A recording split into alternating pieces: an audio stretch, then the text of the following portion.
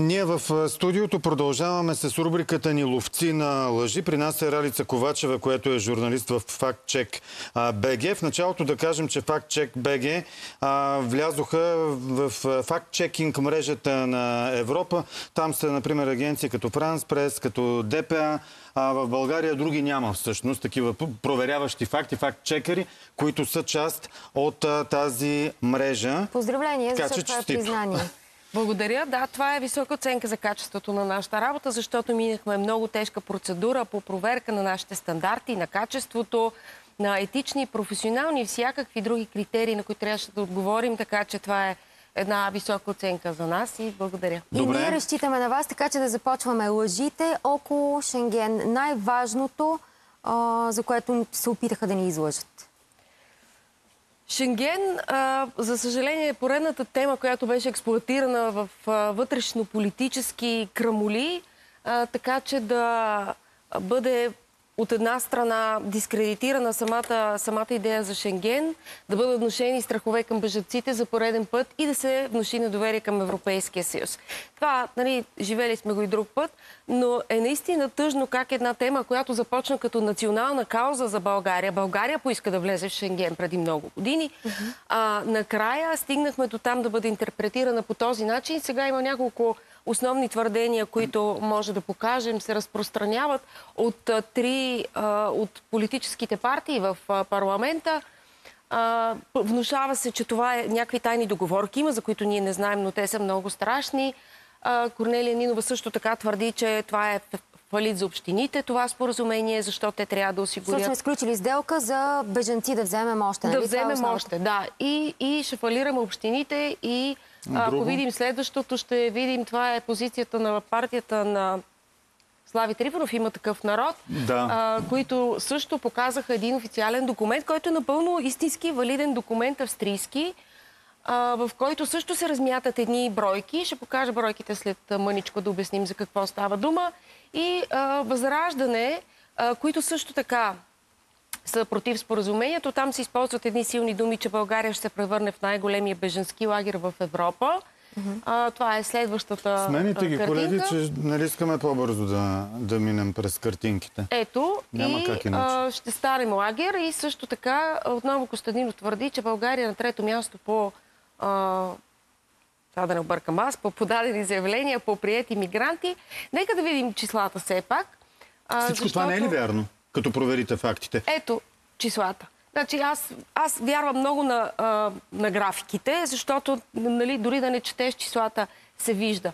Това са заявени и осъществени трансфери към България а, по Дъблинския регламент през 22 година. Заявен трансфер е искам да ви искам върна, да ви върна N на брой хора, хора, а осъществен е, успях е... да ви ги върна. Това е 22 година. Нека видим следващия слайд. А само да кажем, синьото са заявените, а пък много по-низкото са, реализираните. Да. да. Нека видим следващото. То е за 23-та година. Ето как изглеждат нещата. Виждате колко е голяма разликата между заявеното и а, колко малко всъщност реално хора. И това е проблем в целия Европейски съюз, че има а, много малко реално осъществени връщания. Да видим следващата а, иллюстрация. Това са отново числа, които, които ясно ще покажат а, тази огромна разлика, това разминаване. Ето виждате. Това е от всички държави членки, не само Австрия. А, понеже се появиха едни а, бомбастични числа, 30 хиляди и нагоре. Какво Виждате, значи това? Че, че 20 хиляди какво? Получени са... запитвания. Ама запитване значи ли искам да ви върна 20 хиляди души? Като питам искам ли да означава че искам да върна? Точно така. Държавите правят запитвания. Тия запитвания от една страна държавата, приемаща в случая България, може да ги откаже. Има срокове, поради които може да ги откаже. Има процедури, поради които може. Отгоре на всичкото самите хора, мигранти, които са обект на такова запитване да бъдат върнати, могат да го обжават пред съда.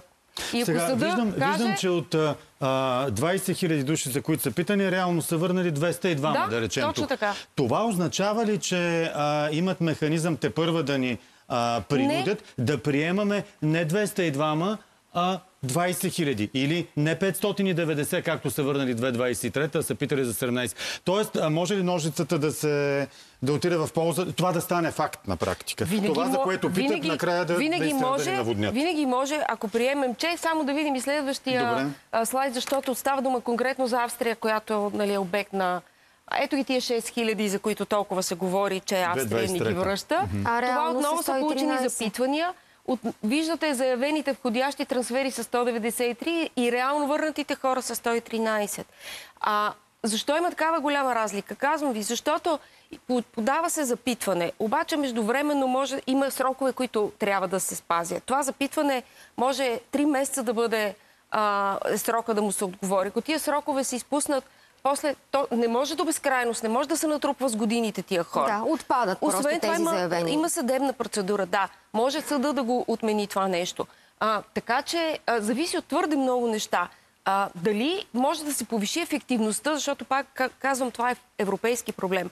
И толкова ефективно да работи цялата система в целия Европейски съюз, че от 100 поискани да бъдат 100 осъществени, това не мисля, че някой може да каже. Но, към ето момента... ги от Австрия за 2023 113 реално Да. осъществени.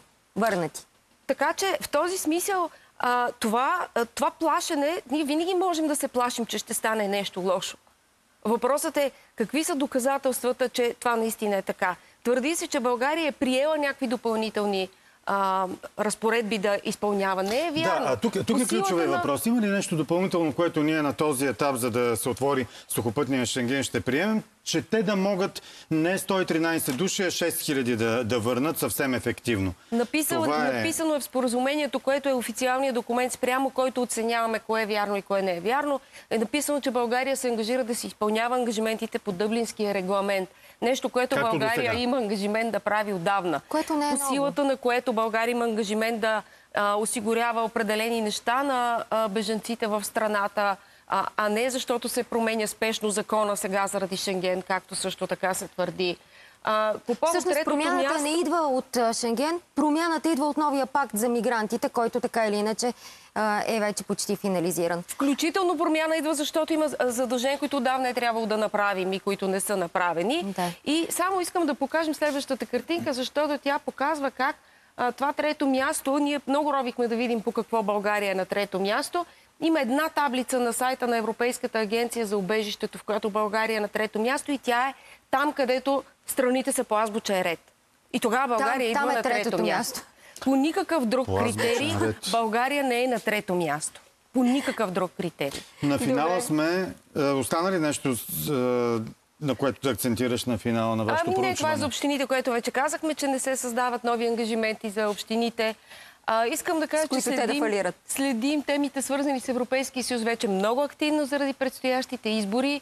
А, така че, вероятно, ще продължим да, да говорим по, по тези теми и, вероятно, за съжаление, ще продължи все по-активно да се манипулира обществото по тези теми. Да, за съжаление, лъжи, няма съмнение. Ще факт-чек- виждаме пак. Фактчек БГ, част от европейската фактчекинг мрежа и Ралица Ковачева. Благодарим ти. Благодарим ти, Благодаря и аз. Ралица. Сега реклама.